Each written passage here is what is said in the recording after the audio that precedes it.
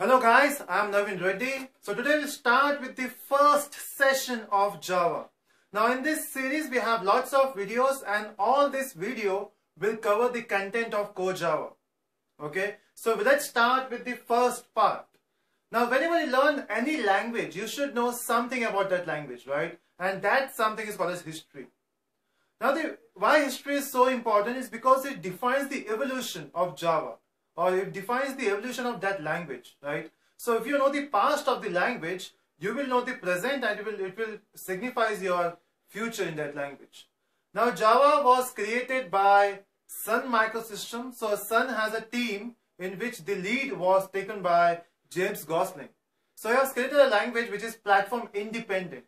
Now the reason for Java creating a Java language is uh, at that time they need a language which will be a platform independent language, right? So they came up with a language called as Oak. So in 1991 they came up with Oak. Then in 1995 they wanted to make a patent on it, or they wanted some legal rights on that uh, on that technology called as Oak.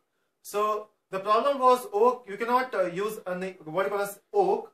There was some problem. So they came up with a term. They, they came up with a name called as Java. So from 1995 till then, we have a name called as Java. Now Java, the main feature of Java is its plat platform independent.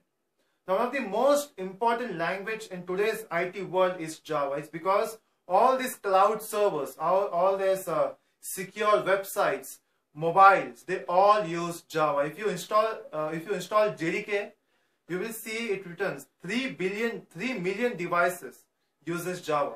Now those devices are mobile devices, they are computer devices, they are embedded devices like your uh, like you have smart card, then you have your ACs, fridge. So all these have Java implemented, right? So Java is everywhere. Now if you talk about Android phone, it's Java, right? So to, uh, if you know Java, it's very, it's you know it will benefit you in many many ways. First, if you know Java, you will know different languages, right? It's very important. You know when you when you learn one language completely, other language are very easy. Okay, so if you learn Java, you know C, you will know C Sharp, right? Because C Sharp is the exact copy of Java. So like the evolution start with C programming. So earlier we used to have C programming, then we came up with C++, then now we have Java. So uh, let, let's start with the simple code of Java. Now in this course of this, uh, uh, you know, we have this uh, sequence of lecture, we have collection of these lectures. So this is the first part. Again, most of the part will be on my uh, computer screen because Java is totally practical oriented language. So maybe between you will be having my session. Otherwise, all this video will have uh, a console level programming or you have this uh, screencasting you can say. So I'll be using my screen to do that. Okay. So basically some theory part will cover on board. Otherwise everything will be on that computer screen. Okay. So when we talk about Java, uh, my main focus in this collection will be the core part of Java, which is your core Java. Now core Java simply means this is the programming term of Java.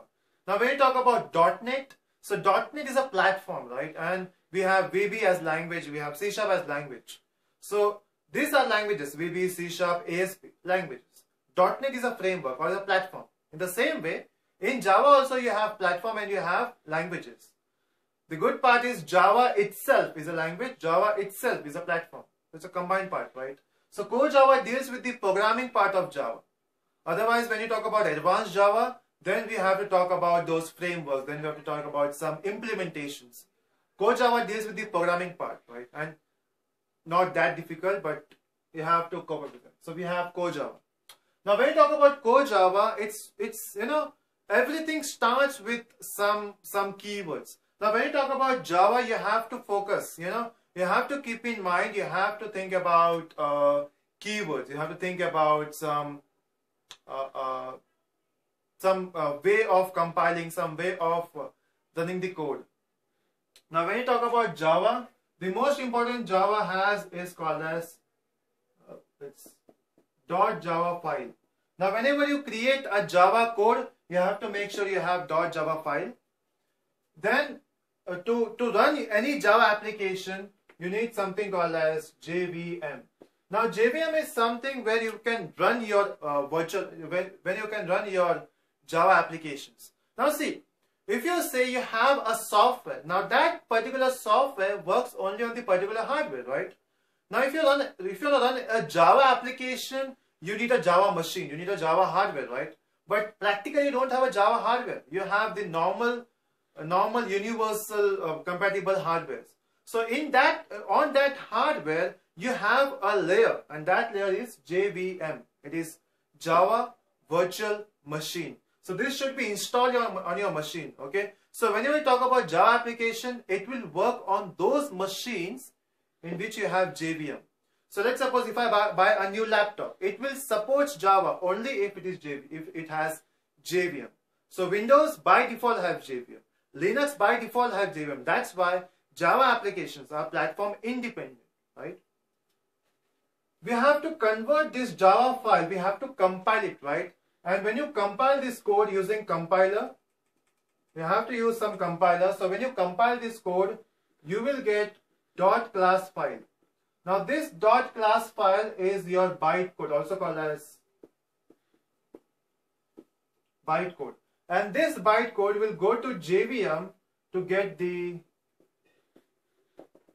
output, right? So when you want to run your application, so application will be run on JVM, but you have to compile. You have to create a bytecode out of it. So this is your dot, dot class file. So first you have to create a dot Java file then you have to create a dot class file by compiling it. Then you have to run it. Again, how to do all this thing, we'll, we'll see on practical implementation, right? Then now, now if we talk about a simple Java code, you have to focus on this thing. Whenever you create a simple Java application, you require a class. Okay. Now class name, let's suppose we have X. In this class, you should have um, uh, you should have something, right? So now when you when you talk about this class, you might be knowing about OOPS concept. So whenever you talk about Java application, you have to create a class. Uh, in this class, you will be having something, right? Some data members or some like data members like variables or some methods. So exactly how to implement all this thing, we will see in our computer implementation. Okay.